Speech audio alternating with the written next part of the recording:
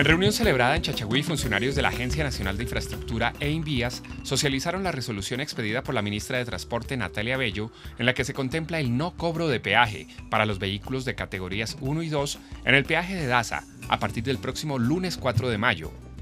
Hoy Chachagüí se viste con sus mejores galas y está de fiesta, con la esperanza recuperada y con una visión hacia el futuro llena de optimismo. Pues por fin, una decisión mal tomada desde el nivel central fue corregida en favor de la comunidad chachagüeña. Doctor Germán Córdoba Ordóñez, vicepresidente de la Agencia Nacional de Infraestructura. Doctor Raúl Delgado Guerrero, gobernador de Nariño. El pueblo chachagüeño les dice gracias. Estamos seguros que tanto ustedes como nosotros nos sentimos satisfechos por la labor cumplida. Creo que termina de alguna manera el sufrimiento de nuestra comunidad. Yo terminaría, señor doctor Raúl Delgado, agradeciéndole no solamente a usted por ese compromiso y ese gesto que ha tenido, sino a muchísimas personas que tienen que ver con este proceso. Llámese grupo cívico, llámese dignidad chachagüeña, llámese concejales en una huelga, a la misma comunidad que estuvo durante mucho tiempo acompañando y dando alientos de buena voluntad para que este proceso continuara soy consciente y reconozco el trabajo muy diligente que el doctor Raúl Delgado en su calidad de gobernador ha venido realizando para que todos nuestros escritos, todos nuestros eh, trabajos realizados aquí a nivel local puedan ser conocidos a nivel nacional.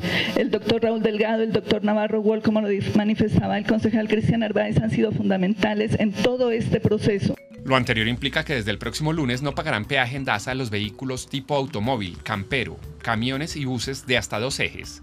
El gobernador de Nariño, Raúl Delgado, dijo en este encuentro que este es un triunfo de la comunidad de Chachagüí, de los comités cívico y de la dignidad por este municipio y de personas como el exministro Ernesto Velázquez Salazar, que por espacio de más de ocho años lucharon decididamente por este propósito.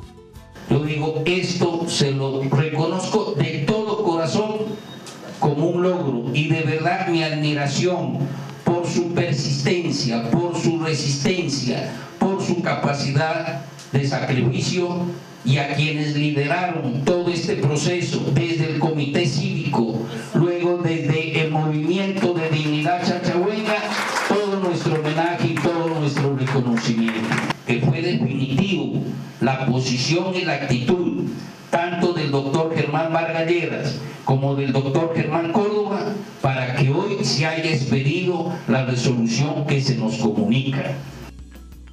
La resolución socializada va ligada a la terminación de la concesión de Binar en firme desde el 30 de abril, luego del acuerdo bilateral entre la ANI y de Binar, dado el incumplimiento del concesionario.